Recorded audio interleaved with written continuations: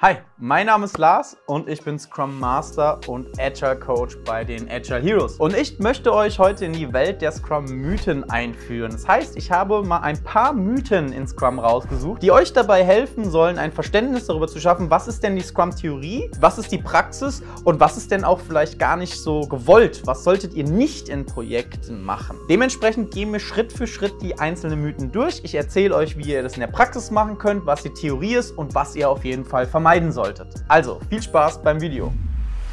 Willkommen bei Agile Heroes Education. Schauen wir uns mal ausgewählte Scrum-Mythen an und ich verliere dann natürlich über die einzelnen Mythen ein, zwei Wörter.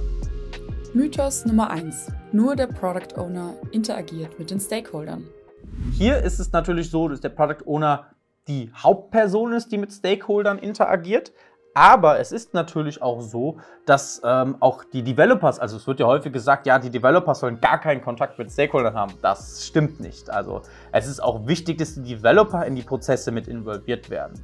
Entscheidungen und Developer sind ja die größten Experten, die wir haben. Warum sollten wir ihr Wissen nicht nutzen in Abstimmung mit Stakeholdern? Es sollte natürlich nicht einen großen Einfluss auf die Development Work haben und dementsprechend nicht 80 Prozent der Zeit einnehmen, aber es ist wichtig, dass auch alle im Scrum-Projekt involviert werden und dementsprechend auch mit den Stakeholdern interagieren.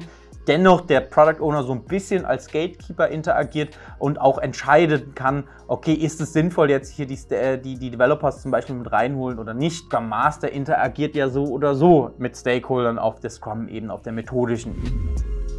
Mythos Nummer 2. Scrum-Teams müssen ein Scrum-Board nutzen, um ihre Arbeit transparent zu machen. Ihr kennt's, die Scrum-Boards in Jira, analog und alles super sinnvoll. Solltet ihr auch in euren Projekten machen. Es ist aber keine Pflicht in Scrum, das Ganze zu nutzen. Ist ein kleiner Mythos. Mythos Nummer 3. Die Arbeit in Scrum wird in Storypoints geschätzt. Auch das ist wieder was, was in der Praxis fast überall angewöhnt wird in agilen Projekten, aber es ist keine Pflicht in Scrum. Ihr könnt in Scrum schätzen, wie ihr wollt. Ihr könnt mit Tagen schätzen, ihr könnt mit T-Shirt-Size setzen, ihr könnt mit Storypoint schätzen oder ihr könnt Schätzungen auch ganz lassen lassen. Es gibt Ansätze, wo äh, Projektteams gar nicht mehr schätzen, weil sie sagen, okay, wir probieren äh, die Tickets nach Gewissen so klein wie möglich zu schneiden und dementsprechend, wenn mal ein Ticket größer oder kleiner ist, macht das für uns keinen Unterschied. Das ist immer von Projekt zu Projekt unterschiedlich. Um eine gewisse Planungssicherheit zu bekommen, arbeiten dann doch viele mit ähm, Schätzungen. Storypoints ist das, was sich herauskristallisiert hat. Ich bin auch ein sehr großer Fan von Storypoints, würde auch sagen, dass es sehr großen Sinn macht, weil man einfach mit einer anderen Sichtweise auf die Schätzung der Aufgaben geht, sondern eher die Komplexität, nicht die kleinteiligen Aufgaben, die wir haben. Es wird mehr berücksichtigt, dass wir unterschiedliche Expertisen haben, die Unsicherheiten, die Risiken, die haben, die hier mit einbezogen werden. Aber es ist keine Pflicht. Mythos Nummer 4. Der Scrum Master muss beim Daily Scrum anwesend sein. Das ist eins meiner Lieblingsthemen, die ich immer in Projekten oder die wir auch bei uns im Team haben. Hatten wir schon große Diskussionen drüber. Fakt ist, der Scrum Master muss im Daily Scrum nicht dabei sein. Das ist das Event der Entwickler. Aber wie sieht es in der Praxis aus? In der Praxis irgendwie gefühlt, in jedem Projekt ist es so, dass die einzelnen ähm, Scrum Master immer im Daily Scrum mit dabei sind, den Screensharen, ihr kennt es in Jira, den Screensharen, das ist dementsprechend nicht so. Es ist das selbstorganisierte Event des Teams. Und da braucht man niemanden, der einfach nur dafür da ist, äh, die Jira-Tickets hin und her zu schieben. Das ist unsinnige auch Zeitverschwendung von Scrum Master. Klar, es kann immer zu Impediments kommen, also es ist auch mal sinnvoll, dass vielleicht mal ein Scrum Master mit drin ist oder auch immer mal wieder reinkommt, um das Team dann auch zu schauen, ob das noch Coaching bedarf. Auch insbesondere am Anfang ist es vielleicht okay, weil man da vielleicht noch mehr Coaching und dem Team mehr vermitteln will. Ja, wo geht die Reise denn auch überhaupt hin? Dennoch ist es keine Pflicht. Im Endeffekt müssen nur Sie da sein. Auch der Product Owner ist keine Pflicht im Daily Scrum. Es gibt Themen, da ist es sinnvoll, dass der Product Owner auch manchmal mit ins Daily kommt. Ähm, Im Endeffekt ist das Team selbst verantwortlich dafür und haben dann auch die Möglichkeit, das so zu gestalten, wie sie es wollen. Mythos Nummer 5.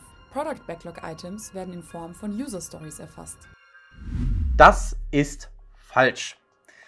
Natürlich, in der Praxis ist so, dass in jedem Projekt eigentlich mit User Stories gearbeitet wird. Und es ist auch ein sehr guter Weg, weil man sich ja in die Person hineinversetzen kann, die eine Anforderung sich wünscht. Und es hat ja immer einen unterschiedlichen Einfluss, wer sich etwas wünscht und dementsprechend auch Verständnis dafür hat, was der User auch haben möchte. Es ist aber so, dass Backlog-Items Backlog-Items sind und Backlog-Items User-Stories sind. Es kann verschiedene Arten von Backlog-Items gehen, also auch ein Bug oder ähnliches. Das würde ja dann ausschließen. Ein Bug in der User-Story zu schreiben, ist in einer gewissen Weise ein bisschen schwieriger dann, weil wir nicht mal wissen, wo kommt das Ganze her, sondern wir kennen nur das Problem. Wir können sagen, gut, wir wollen das Problem gelöst haben oder ähnliches, ist aber ja auch nicht Kern einer User Story. Dementsprechend könnt ihr euer Backlog-Item so definieren, wie ihr wollt. Im Endeffekt geht es darum, das Sprintziel zu erreichen. Und wenn das nicht funktioniert, dann muss man arbeiten und dann eventuell die Definition of Ready oder auch, wie wir unsere Backlog-Items definieren, überarbeiten. Das waren die Scrum-Mythen. Ich hoffe, es hat euch ein bisschen Einblick gegeben